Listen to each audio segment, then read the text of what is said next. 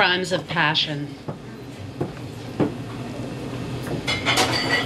She brought me into her apartment after picking me out from a shelf full of competitors. And maybe I was wrong in thinking that it meant something, but she chose me and I thought it was love.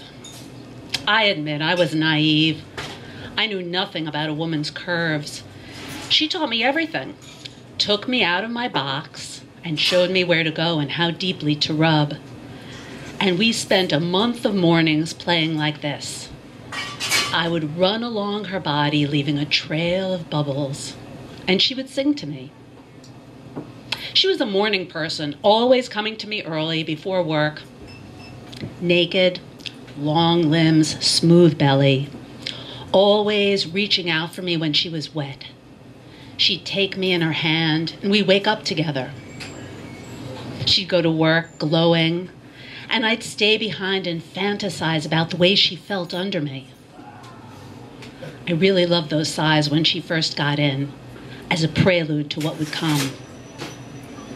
Sometimes she would come to me at night, but only if she was drunk, and I'd know it when I'd hear her bang into the umbrella stand by the front door.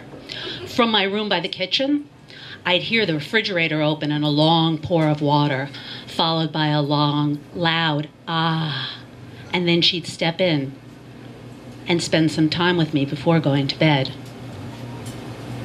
I knew that she wanted me as much as I wanted her, the way she reached for me without hesitation, until one morning, one month into our relationship, when I slipped from her hand.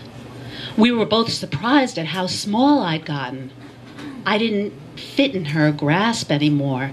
And as I waited for her to reach for me again, she paused, and I knew in that moment she no longer wanted me with the same appetite that she had wanted me before. Perhaps I was wrong to doubt her, but I was in a sweat that night, filled with what ifs. What if she leaves me? I'll be useless. What if she never sings to me again? I knew I would break into pieces. I built ornate fantasies about losing her. But the next morning, she pulled me tighter and held me closer than ever before. She treated me like an object, and I loved it.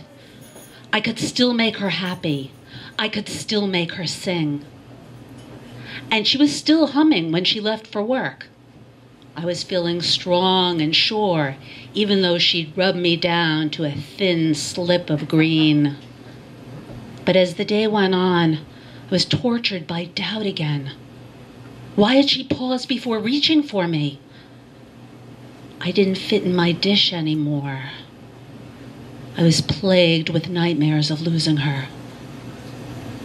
That night she came home drunk. I knew it by the familiar sound when she bumped into the umbrella stand.